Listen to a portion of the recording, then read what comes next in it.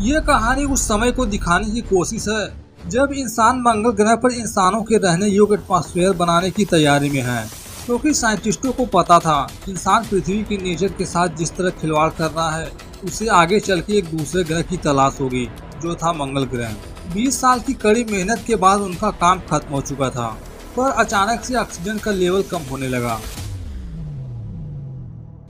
Mars पर oxygen का level कम होने से सभी देश अपने अपने रिसोर्सेज साइंटिस्टों की मदद के लिए लगा दिए। ये इंसान का पहला मिशन था।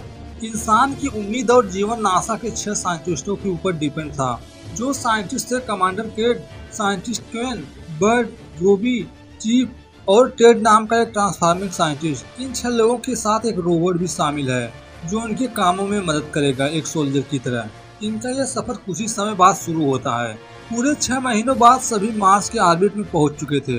नासा मार्स पर हैबिटेबल स्टेशन भी बना चुकी थी, जहाँ दो साल के लिए ऑक्सीजन, पानी और कुछ खाने का इंतज़ाम भी किया गया था। यह मार्स पर लैंडिंग की तैयारी में थे। इसी बीच सोलर फ्लेयर, यानी तूफ़ान की वजह से शिप का भारी नुकसान हुआ। शिप के सारे पावर सोर्स कट हो चुके थे। इसलिए कमांडर गेट साइंटिस्टों को तुरंत लैंड करने का ऑर्डर देती है और खुद शिप को रिपेयर करने के लिए पीछे जाती है।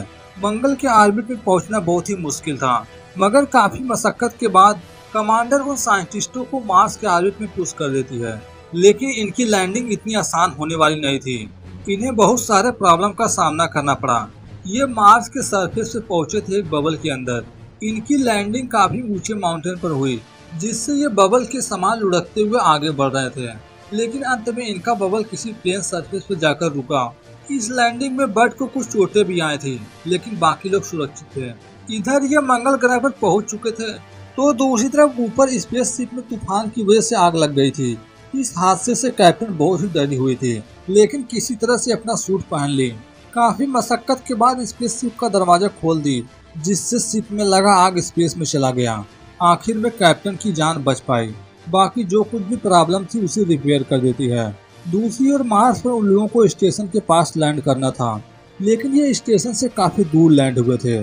स्टेशन इनसे कितनी दूरी पर था, यह भी पता नहीं था उन्हें। इसलिए सबसे पहले स्टेशन के लोकेशन का पता लगाना है। पता लगाने के लिए वहाँ से निकलने ही वाले थे, मगर लैंडिंग के वक्त बट को काफ़ी चोटें आई थी, जिस वजह से वह चलने की हालत में नहीं था। वह चाहता था कि ये चारों लोग आगे चले जाएँ।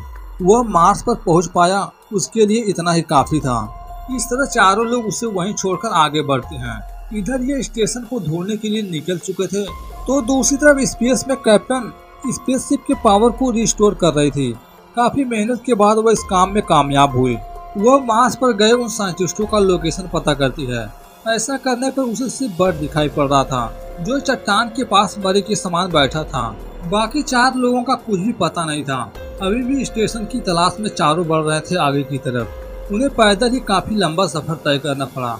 आखिर में जब स्टेशन के पास पहुँचे तो वहाँ के मंजर को देखकर उन्हें निराशा ही हाथ लगी, क्योंकि स्टेशन अब बर्बाद हो चुका था। मगर ये कैसे हुआ, कुछ भी पता नहीं। समय बीतने के साथ मार्स पर अंधेरा होने लगा, लेकिन स्पेसशिप में मौजूद कैप्टन उन चारों को अभी तक ढूंढ नहीं पाए थे। अकेले होने की वजह से उसके अंदर घबराहट बढ़ने लगी थी। कैप्टन इन सब के बारे में पृथ्वी पर रिपोर्ट देती है कि अब तक उनके साथ क्या क्या हुआ। दूसरी ओर मार्स पर उनके पास खाना पानी, यहाँ तक कि ऑक्सीजन भी नहीं था। सब डिस्ट्रॉय हो चुका था। 20 साल की कड़ी मेहनत खराब हो चुकी थी। यहाँ आने के बाद एनवायरनमेंट भी ऐसा नहीं था जैसा इन्होंने सोचा था। इनके पास अभी सिर्फ़ एक घंटे का ऑक्सीजन बचा है। उनमें से दो साइंटिस्ट जो एक अच्छे दोस्त थे, दोनों आपस में बातें करने लगे। तो दूसरी तरफ़ डेड और चीफ बातें करते हुए पहाड़ी के पास पहुँचे। वहाँ का नज़ारा काफ़ी खूबसूरत था। इस बीच दोनों के बीच बहसबाजी हो गई कि किस तरह केट पायलट होने के बावजूद सही से लैंडिंग नहीं कर पाया। दोनों के बीच का झगड़ा काफ़ी गंभीर रूप ले लेता है। इस बीच चीप का हाथ गलती से टेट पर लग गया। टेट का पैर फिसला, वो पहाड़ी से जाकर नीचे गिरकर मारा गया। ऐसा होने पर चीप घबरा जाता है, मगर शांति से आकर बाकी लोगों को बताने लगा। वह काफ़ी डिप्रेशन में था, इसलिए पहाड़ से कूदकर आत्महत्या कर लिया। मगर उन्हें भी पता है, वह आत्महत्या करने में से नहीं है। इसलिए उन्हें चीप की बातों पर भरोसा नहीं हो रहा था। धीरे धीरे एक घंटे के लिए जो ऑक्सीजन बचा था, वह भी खत्म हो रहा था। रूबी से यह तड़प बर्दाश्त नहीं हुई, इसलिए वो अपना हेलमेट खोलता है। तभी उन्हें एक ऐसी चीज़ पता चली, जिसकी किसी ने उम्मीद नहीं की थी। हेलमेट निकालने के बाद भी वे सांस ले पा रहे थे, मगर ये चमत्कार कैसे हुआ किसी को कुछ नहीं मालूम, जिसका सच आगे चल के पता चलेगा। इधर ये लोग बहुत ही खुश थे तो दूसरी तरफ़ कैप्टन को धरती से मैसेज मिला वे मिशन से वापस लौट आए। दूसरी ओर मंगल पर रात होने से ठंड काफ़ी बढ़ चुकी थी। उनके साथ जो रोबोट था, अचानक से उन पर हमला करने लगा, जिससे कुछ लोग बहुत ही गंभीर रूप से जख्मी हो गए। रोबोट ऐसा इसलिए कर रहा था क्योंकि लैंडिंग के वक्त उसके सिस्टम में कुछ गड़बड़ी आ गई थी। इसलिए वह जिस भी चीज़ में मूवमेंट देख रहा था, हमला कर रहा था उन पर। रोबोट के इस तरह आक्रामक होने के बाद वे जान बचाने के लिए किसी जगह छुप गए। सुबह होने पर रूबी को याद आता है। सन उन्नीस सौ सत्तानवे में एक मिशन के तहत इन्होंने मंगल ग्रह पर एक रोवर भेजा था। अगर वे रोवर को ढूंढ लिए तो उन्हें वहाँ से रेडियो मिल सकता है। अगर ऐसा हुआ तो मदद के लिए कांटेक्ट कर सकते हैं। इस वीरान इलाके में रोवर कहाँ है, इसका भी पता नहीं था उन्हें। पर इतना पता था, वो इनसे कितनी दूरी पर है। काफ़ी समय पैदल चलने के बाद आखिरकार वे रोवर तक पहुँच गए। रेडियो भी मिल गया उन्हें, लेकिन उसका पचास सालों से यूज़ नहीं हुआ था। इसलिए वे उसे रिपेयर करना चाहते थे। रिपेयर करने के बाद वह सही हो गया। बार बार सिग्नल भेजा गया। किस्मत अच्छी थी, उसका सिग्नल एक सेटेलाइट पकड़ा। इस तरह धरती पर उन लोगों के बारे में पता चला। मार्स पर ज़िंदा है वे लोग। स्पेसशिप में मौजूद कैप्टन को भी पता चला। वो उन चारों से बातें की। साइंटिस्ट मंगल ग्रह पर जिस मकसद के लिए आए थे, वह तो पूरा होने वाला नहीं था। क्योंकि एक्सपेरिमेंट के लिए जो भी सामान लाए थे, सब खराब हो चुका है। इनके पास वापस जाने के अलावा दूसरा कोई भी चारा नहीं था। लेकिन उन्हें स्पेसशिप तक पहुँचने के लिए एक मज़बूत रॉकेट की ज़रूरत थी। इसलिए कैप्टन बताती है कि जहाँ पर उनका स्टेशन था, वहाँ से करीब 100 किलोमीटर दूर रसियन क्रॉप सिस्टम है, जिसकी मदद से ये मार्स के आर्बिट में खुद को लॉन्च कर सकते थे। सबसे बड़ी मुसीबत तो यह थी कि उनके पास सिर्फ़ 19 घंटे थे खुद को लॉन्च करने के लिए, क्योंकि 19 घंटे बाद कैप्टन का स्पेस भी पृथ्वी पर जाने वाला था। इनका यह सफ़र काफ़ी लंबा था, लेकिन आखिरी उम्मीद भी थी। इसलिए सभी लोग 100 किलोमीटर दूरी तय करने के लिए निकल पड़े। सबसे बड़ी प्रॉब्लम तो यह पता चली कि उनमें सिर्फ़ दो ही लोग बैठ सकते हैं। चलते चलते रात हो चुकी थी। टेम्परेचर गिर के माइनस में पहुँच चुका था। इस बीच उनका रोबोट छुप छुप कर उन पर हमला भी कर रहा था। थोड़ी दूर चलने के बाद उन्हें किसी तरह से गुफा मिली। तीनों बैठकर आराम करने लगे। रोगी बताता है कि उसमें सिर्फ़ दो ही लोग बैठ सकते हैं, इसलिए उन दोनों को ही जाने को कहता है। ये सुनते ही चीप को उन दोनों पर शक होने लगा, इसलिए वही जाएँगे ऐसा उन्हें लग रहा था। थोड़े समय बाद जैसे तूफ़ान थमा, वैसे जो उनके पास रेडियो था, वो उसे लेकर भाग जाता है। जब दोनों लोग नींद से जागे तो परेशान होने लगे। वहीं क्रेन के सूट पर जो कैमरा लगा था, उन्हें अपने स्क्रीन पर दिखाई पड़ रहा था, जो रेडियो लेकर भाग रहा है। इतने में रोबोट आकर उस पर हमला कर दिया। आखिर में मार देता है जान से। इस तरह अब दो ही लोग बचे थे। उन्हें वहाँ का डायरेक्शन थोड़ा बहुत पता था। इसलिए दोनों लोग आगे बढ़ने लगे। थोड़ी देर में वे एक ऐसी जगह पहुँच गए, जहाँ का नज़ारा बिल्कुल अलग था। चारों तरफ़ जैसे गार्डन हो। हरी भरी घास से भरा था। यह देखकर उन्हें अपनी आँखों पर विश्वास नहीं हो रहा था। पूरा मंगल ग्रह बंजर पड़ा है। मगर यहाँ हरियाली कैसे? उन्हें वहीं पर चिप की डेड बॉडी भी मिली, जिसे रोबोट ने मार दिया था। इसका मतलब ये सही डायरेक्शन में जा रहे हैं। जाने से पहले चिप का ऑक्सीजन मास्क निकाल लिए, ताकि उसका ऑक्सीजन वे यूज़ कर सकें। ऑक्सीजन मास्क निकाल ही रहे थे। इसी बीच ऐसा नज़ारा क्रिएट हुआ, जिसके बारे में इन्होंने सोचा तक नहीं था। चिप की बॉडी से छोटे छोटे ब्लास्ट होने लगे। ऐसा लग रहा था जैसे उसके अंदर छोटे छोटे पटाखे फिट किए गए हो, जो अब ब्लास्ट हो रहे हैं। ये इसलिए हुआ, क्योंकि मंगल ग्रह पर कुछ अजीब तरह के कीड़े मकोड़े थे।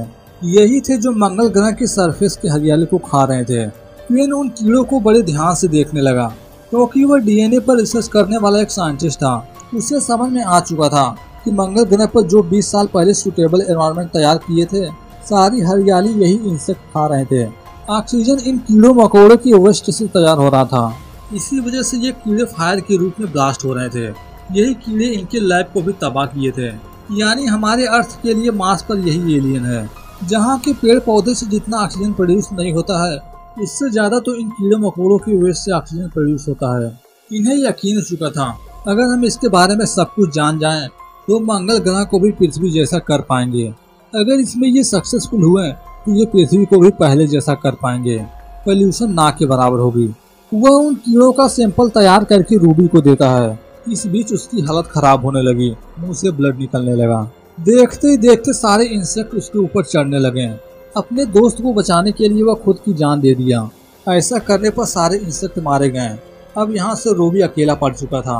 मरने से पहले उसका दोस्त उस इंसेक्ट का सैंपल दे दिया था, जिसे पृथ्वी पर ले जाकर रिसर्च कर सकते थे। रोबी स्पेस में कैप्टन से कांटेक्ट करता है। कैप्टन उसे वहाँ से आगे बढ़ने की सलाह देती है, जहाँ से वे मार्स के ऑर्बिट में जाएँगे। तभी पता चला उनके पास इतना पावर नहीं है। कि वे लॉन्च हो पाए। इन सब चीज़ों के बारे में वह कैप्टन को सारी बातें बताया कि यह इंसेक्ट कैसे हैं, किस तरह के नुकसान पहुँचा सकते हैं। वह चाहता है कि जल्द से जल्द मंगल ग्रह पर किसी को भेजा जाए, ताकि उसका सैंपल कलेक्ट कर सकें, जिससे उनका अर्थ भी बच सकता है।